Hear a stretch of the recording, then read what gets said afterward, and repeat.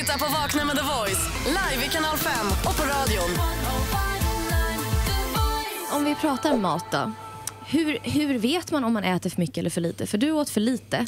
Inledningsvis i alla fall, ja. Ja, hur, hur, gemene man, hur vet man det om man inte kan gå Det, och mätas? det, det finns ju en del eh, ni säger, måttstockar när det gäller protein och kolhydrater och sådär. Så att eh, 2-3 gram protein per kilo kroppsvikt ungefär. Åh herregud, jag måste lära mig matte. Ja, precis. Per måltid.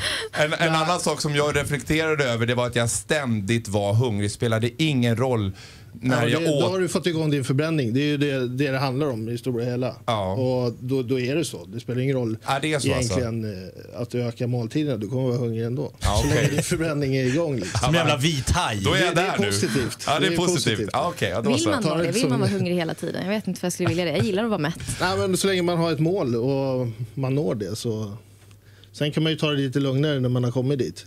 Eh, Då kan man ju unna sig lite mer. Just Men jag har ju hört att du unnar en hel del ändå.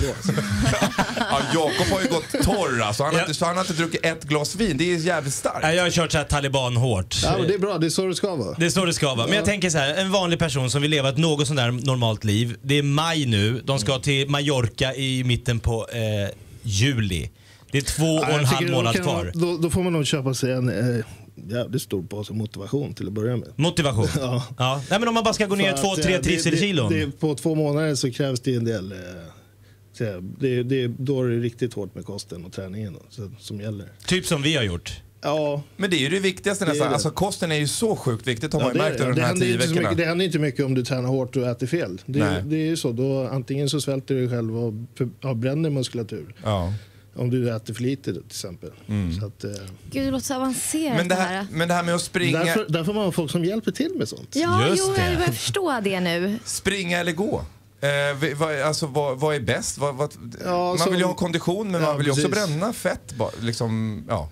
Ja, båda, båda sätt förbränner du ju på. Det är absolut, det gör det ju. Men eh, om du vill, har, om man har en kroppshydda med mycket muskler så eh, är det ju nog bättre med promenader. Mm. Eh, för att eh, långa löppass till exempel förbränner ju muskulatur. Så att, eller bränner muskulatur. Och borde vara också rätt slitsamt då för en Ja, stor det är det. kropp. Jag kan inte springa till exempel. Jag väger närmare 100 kilo nu. Så att, eh, jag får ont i knän och sånt där. Så att, det, Du, du går ut och går istället? ja. För det Det är förbränner morgon, fett? under det så är det morgonpromenader som gäller. Eller ja, crosstraining eller löpande på gymmet. Okej.